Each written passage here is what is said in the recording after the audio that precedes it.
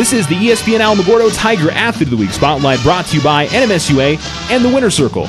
This week's athlete is Eduardo Gines of Tiger Cross Country. How do you think your season has gone so far? Are you happy with the way you've ran? Yes, sir. It's been going so well. Yeah, some good cross country meets, you know. How do you feel like the team has run so far? It seems like when I look at the, the results of the meet, you guys are kind of all bunched together. It seems like every single week. Do you guys usually stick together out there on the course pretty well? Oh yes, we train hard, work hard, and then we perform hard too. With district coming up here in, in a couple of weeks, I mean, is there a certain time that you're personally shooting for in that meet? Yes, sir. My personal time right now is 16:43, and I'm going to get it lower as possible. Did, did you have a goal for yourself this season and where you wanted to get down to? Yes, and to the down to the 16 minutes because I used to run three miles at 18 minutes. Now I got them to 16, so I improved a lot. What do you think? I mean, what would you attribute that to? Why do you think uh, you've been able to, to drop those numbers so much uh, since you started running cross country? You know, just train hard, work hard, and put your whole mind and body into it, and then you just do good. Talk about, I mean, the, the aspect of, of cross country being a team sport because it seems like you guys do really push each other out there. Is that true?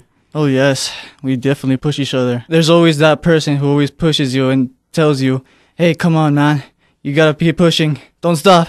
You are senior this year.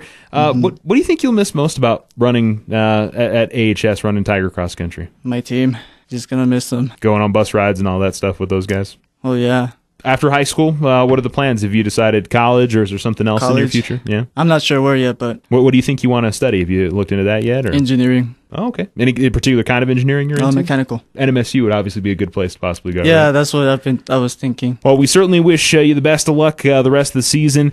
And uh, what, what do you think the chances are this team uh, is heading to the state tournament? You guys have to finish top three at district. Uh, you guys feel like you can do that? Yes, sir. We certainly wish the best of luck to you, and congratulations on being athlete of the week. Thank you.